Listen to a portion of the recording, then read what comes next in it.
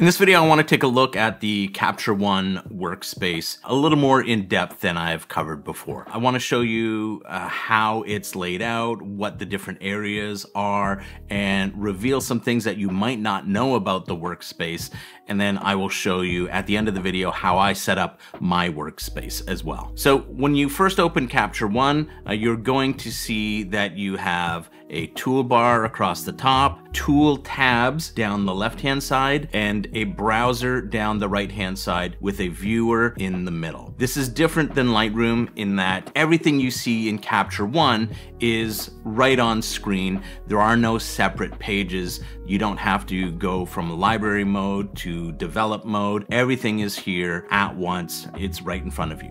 What you also want to note is that when you are looking at the viewer here, you are always seeing the what your proofing is. You are always soft proofing in Capture One. If you go up to view, you can enable recipe proofing and then your proofing will be determined by the export recipe that you have currently selected. So if you have an export recipe that's specific to your printer, it will show you exactly what that is. So what you can do is you can disable recipe proofing, which is something I do.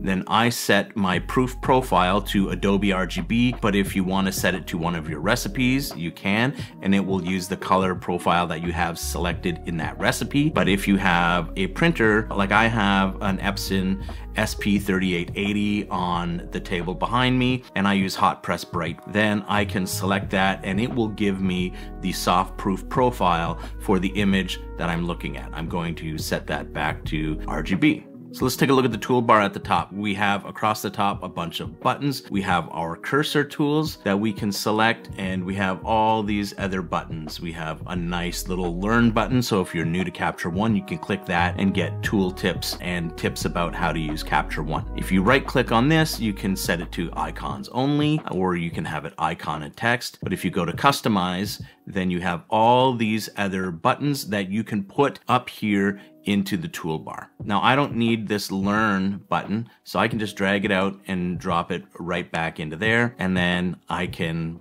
uh, hit done and that's automatically saved. What you can also do is you see these are all spaces. Everything can be moved, even your cursor tools. If you want them all the way over to the left, you can move your cursor tools there. You can move them all the way to the right. I'm just gonna keep them in the center where they typically are when, when you start Capture One. Click Done and that's saved. Over here on the left, we have our tool tabs. We have right now the Library tab, there's a Tether tab, the Shape tab, we have the Style tab, Adjusts tab, and we have the Refine tab. If you click on these three dots, or if you right click in this blank area, you get the same menu. You can change your workspace to default workspaces. You can set it to icon and text. I'm gonna set that that back. You can add tool tabs. You have the export tool tab that you can add with all the setup export tools already there. That's great to have in your tool tabs at the side. I'm just gonna go to the quick toolbar here. What I can do is if I want to remove this rotation and flip, if I click on this, it will open. If I click here, it will open. If I wanna get rid of this tool, I just click on the hamburger menu, the three dots, the more menu, whatever you wanna call it, and I'll just click remove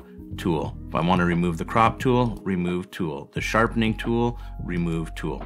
Same thing, same process. Remove tool. High dynamic range, remove tool. Now, if I wanted to add the high dynamic range tool back, I can just right click, add tool, then I can search for high dynamic range and it is right there. If I wanted to add the smart adjustments tool, I'm just right click, go to smart adjustments, and there it is. If I wanted to add any other tool, the navigator tool, I can add that.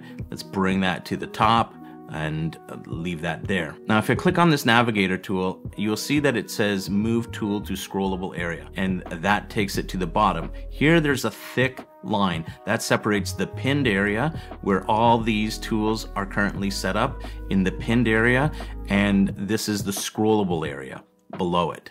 So I could take this tool and say move to scrollable area, move to scrollable area, move to scrollable area, move to scrollable area, and then uh, the, the histogram is in the pinned area, it's pinned at the top, and everything else is in the scrollable area. Maybe I want the navigator to go back to the pinned area. It just moves it up there, and then I can just drag it above my histogram to place it up there.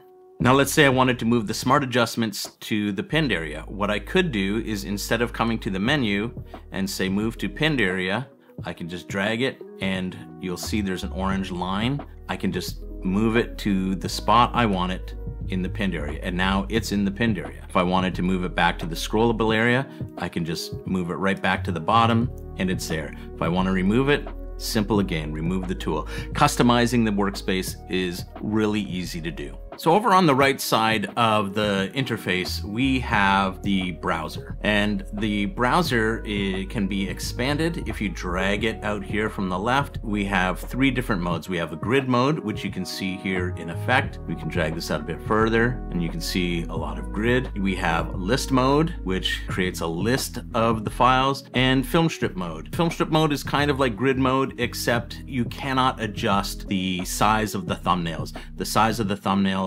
automatically scales with the size of the browser. Now if we go up here to view and scroll down to customize browser, you'll see it says place below. That means that we can move the browser from the right side of the screen to below our viewer. If you just click that, the browser moves below. And now that this is in film strip view, you can take that and we can raise that up and you can see the film strip automatically adjusts to the size of that browser at the bottom of the window. List view also works here. Grid view also works here. If you pull the, the grid up, you can see the thumbnail size is determined by the size you set here in the slider. Whereas in thumbnails, there is no size adjustment and it is always just going to be the size of that bar. You'll see the bar is at the bottom. That's not something I prefer, so I'm going to use that keyboard shortcut and set it back to the right.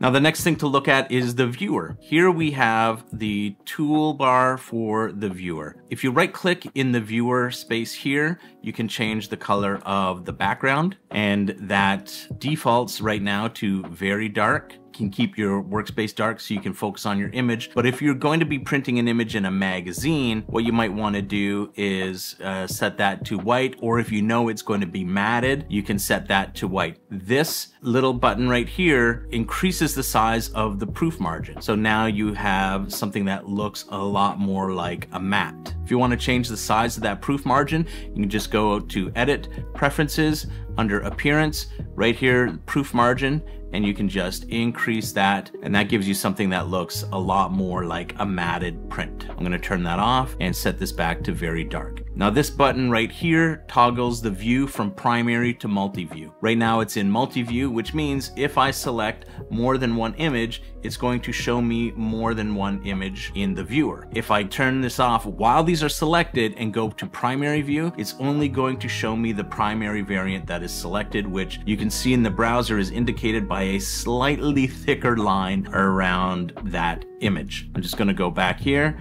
and as I click through, I can just click on that and, and which one I set becomes the primary. Then I turn multi-view on and now I can see both images. Resetting that. This little drop down here, it shows us what layer we are working on right now. So if I go to the adjustments and I open the layers tab, there's currently no layer. If I add another layer, I'm gonna add a filled layer and call it grade and that's where I might apply a color grade with the color balance here. Now you can see I am working on the grade versus working on the background and in the tool it's actually switching the layer that I am working on. I'm going to delete that layer and go back to the default space. If you're coming from Lightroom, Capture One has your back. Just go to Workspace and Migration. You'll see the layout looks very similar to Lightroom's with all the tools set up in the same order and the nice film strip here at the bottom in the same way that you would see it in Lightroom. What you don't have though is the library on the left because all your tool tabs move together. Your library you can find right here and then all your adjustments in the Adjustments tab. So if you're moving over from Lightroom, you just want to get in there and get started, you can use the migration workspace that they've set up for you. And then once you get familiar with it and comfortable with it, you can start moving the tools around, customizing the workspace to your liking, which is what I'm going to show you now. So I'm going to go up to Window and Workspace and KPR. And this is how I have my workspace set up. And I'm going to explain why I have it set up this way. Now, the first thing you'll see here is that I have everything that I need right in front of me. I've got a nice big viewer in the middle. I've got my browser with a lot of thumbnails off to the right, and I have all of my tool tabs and tools on the left. Everything is here. I don't need to go searching for anything. I can scroll very quickly through my images to find an image that I might be looking for and click to the image that I that I need. My tool tabs, I work from left to right, set up like this is my workflow. So I have the library, I can see and organize my images, I can filter them based on color tags and ratings, things like that. Then I have my metadata, I have the keyword library, keywords, and metadata set up there. Then I come to my shape tab where I keep my lens corrections, my grid, crop. Then I have styles and presets, and my adjustment clipboard is there as well. Then I have the adjustments tab, and this is where I do most of my work. Uh, I've got the base characteristics, I've got layers, I've got smart brushes, smart adjustments.